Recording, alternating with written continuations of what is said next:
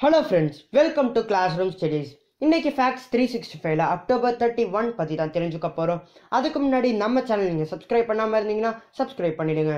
நம்ம இன்னைக்கு முதலாவதாக பார்க்க போகிறது வேர்ல்ட் சிட்டிஸ் டே இது வருஷ வருஷமும் அக்டோபர் முப்பத்தி ஒன்று அன்னைக்கு கொண்டாடக்கூடிய ஒரு இன்டர்நேஷ்னல் டேவாக இருந்துட்டுருக்கு.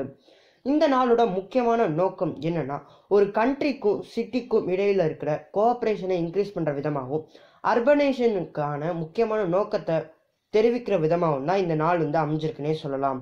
இந்த நாளோட முக்கியமான தீம் என்னன்னா பெட்டர் சிட்டி பெட்டர் லைஃப் அப்படிங்கிற ஓவரால் தீமை வச்சு தான் இந்த நாள் வந்து இயங்கிட்டு இருக்கு இந்த நாளோட தொடக்கம்ங்கிறது ரெண்டாயிரத்தி பத்து அன்னைக்கு நடந்த ஷாங்காய் இன்டர்நேஷ்னல் எக்ஸ்போவில் தான் ஆரம்பிச்சதா சொல்கிறாங்க அன்னைக்கு தான் இந்த நாள் வந்து அக்டோபர் முப்பத்தி ஒன்று எல்லா வருஷமும் கொண்டாடணும்னு சொல்லிட்டு முடிவெடுத்தாங்க.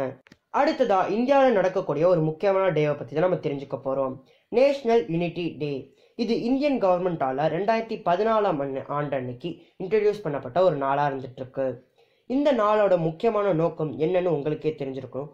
ஒரு நாடு நல்லா இருக்கணும்னா அந்த நாட்டு மக்கள் வந்து எல்லாரும் யூனிட்டியாக இருக்கணும். அதை மையமாக வச்சு தான் இந்த நாளும் கொண்டாடிட்டு இருக்காங்கன்னே சொல்லலாம். இந்த நாள் வந்து சர்தார் வல்லபாய் பாய் பட்டேல் அவர்களுடைய பர்த்டேவை முன்வைக்கிற விதமாக தான் கொண்டாடிட்டு இருக்காங்க இவர் ஒரு இந்தியன் பொலிட்டீஷியன் மற்றும் ஃப்ரீடம் ஃபைட்டராக இருந்திருக்காரு. அது மட்டும் இல்லாமல் நேஷனல் யூனிட்டிக்காக இவர் நிறைய விஷயங்கள் பண்ணியிருக்காரு அதுக்காக தான் இவரோட பர்த்டே அன்னைக்கு இந்த நேஷனல் யூனிட்டி டேங்கிறது கொண்டாடப்பட்டுருக்குன்னே சொல்லலாம். அடுத்தது வல்லபாய் பட்டேல் பற்றி இன்னும் கொஞ்சம் டீட்டெயிலாக பார்க்கும். இவரோட முழு பெயர் வல்லபாய் ஜவர்பாய் பட்டேல். இவர் முப்பத்தி ஒன்று அக்டோபர் ஆயிரத்தி எண்ணூற்றி எழுபத்தி அஞ்சில் பிறந்திருக்காரு. இவர் இந்தியாவோட அயன் சொல்லப்படுது. அது மட்டும் இல்லாமல் இவர் இந்தியாவுக்கு முதல் டெபுட்டி பிரைம் மினிஸ்டராக இருந்திருக்காரு. அது மட்டும் இல்லாமல் இவர் இந்தியன் நேஷனல் காங்கிரஸோட ஒரு சீனியர் லீடராகவும் பதவி வகிச்சிருக்காரு.